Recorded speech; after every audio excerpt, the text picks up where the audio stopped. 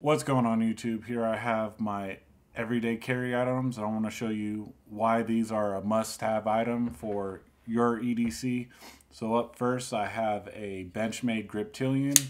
This is a full-size knife in my eyes. The blade length is about three and a half inches and the overall is about eight inches. And one reason why I like this full-size knife is you get a full grasp on your hand. I have really big hands and you have this big meaty blade versus something like a two and a half inch blade. Yes, a knife's better than no knife, but you could see how I can't get my pinky around this. And the blade length, just in comparison, look at the size of it. So for prying applications, I feel like a bigger blade is better. For cutting blade length, I feel like uh, no questions asked on that. And in a defensive tactic, I feel like having a full size knife is better than having a smaller knife. And you might say, well, your Leatherman has a knife, but it's not as fast deploying as I would like it to be, while this one is faster. So I recommend for people who want to carry a EDC knife to get a full size knife.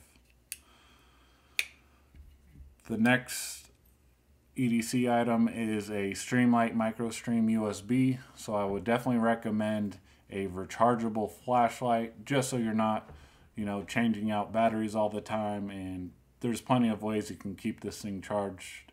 You know, I only have to charge this thing maybe once or every other month to keep this thing up to par. So why I like this, I find it more convenient to pull out than your cell phone flashlight. Here's high, so on high this flashlight lasts about an hour and a half and on low, which you halfway depress it, it lasts three hours. So I feel like that's perfect, way better performance than a ba battery powered flashlight. And this does have a pocket clip and a hat clip, which I find useful. Now I don't always wear a flashlight on my hat, so I do wish I could wear it on my shirt to illuminate maybe a dark room or something in that nature and have my hands free.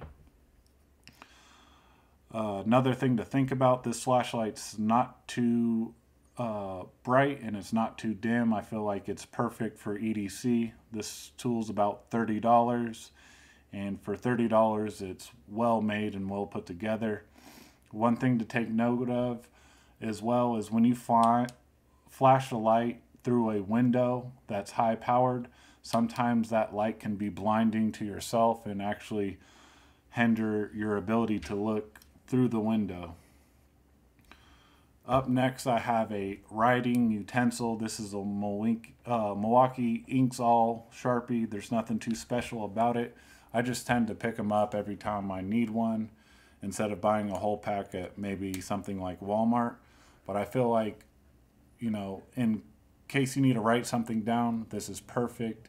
And depending on what you're writing on, this puts a bold, dark line on it. So if you have to write on something like, let's say, lumber, that's where a pen would kind of fail in. So I would also like maybe a two in one, that would be perfect.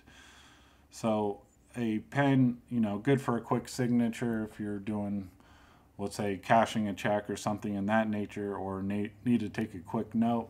And that's where I feel like your cell phone would probably be a better place to use a notepad or use as a notepad.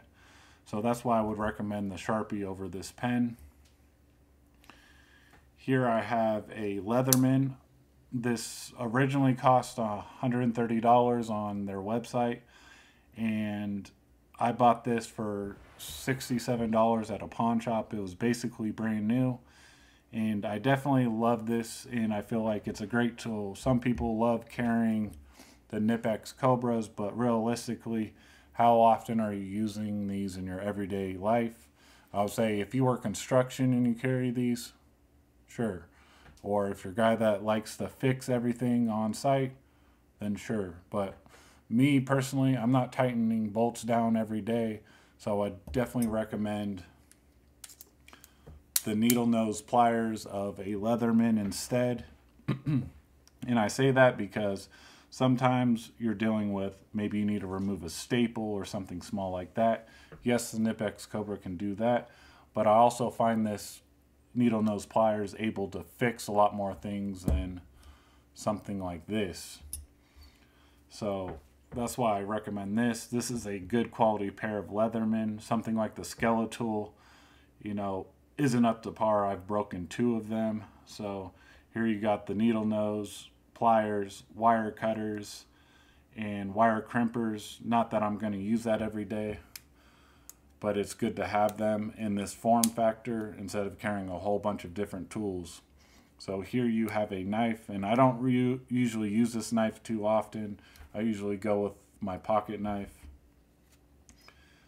Here I have the other two, two tools on this side. So here is a flathead plus a pry bar and a Phillips with a can opener. And all these are magnetic and lock open. So I definitely love that all the tools are locking. You know, some multi-tools don't have a locking feature for the knife and that can be pretty dangerous of cutting yourself. Here are the pair of scissors. They work great for a multi-tool scissors. I've cut paper, cardboard, and zip ties with them, and they function just fine. Here's a file plus a flathead.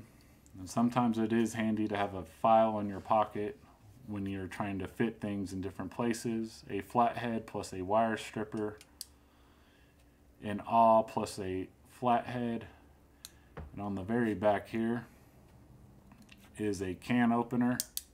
So I definitely find this a very useful tool to carry on you. You might not need it all the time, but this has 19 tools in a small form factor. This thing is pretty heavy for a multi-tool. I believe it's about 7.8 ounces or something in that nature. But you could see on this side, these tools are going to be used more often, which is a Phillips, flathead, and a knife. So I love the feature that it's thicker on these tools than on these. Once again, I love pocket clips, so I'll clip this in my fifth pocket because sometimes I find this a little heavy bouncing around on my pocket. And I'll usually carry these three in one pocket, this in the other. So a bunch of functionality between these tools. In here, this I don't carry every day, but this is a small trauma kit or and I do have a tourniquet a SWAT T tourniquet, some QuikClot, bandages, and I keep this in my car in case of an emergency. You know, you never know what's going to happen in your day-to-day -day life. And I love being prepared in the fact that I have a chance to save someone's life than to just be helpless and not know what to do. So I would definitely recommend people at least getting a tourniquet. And you could always carry this SWAT T tourniquet in your back pocket in your back pocket because it's very slim, it's in a seal, and you can use it for you know multiple things. Here you can see you can wrap it around uh, you know wounds. So here, tourniquet, elastic wrap, and a pressure dress, pressure dressing. So look into these. They're very, you know, unique, and I find them very functional. But thanks for watching this everyday carry must-have video, and I'll see you guys later.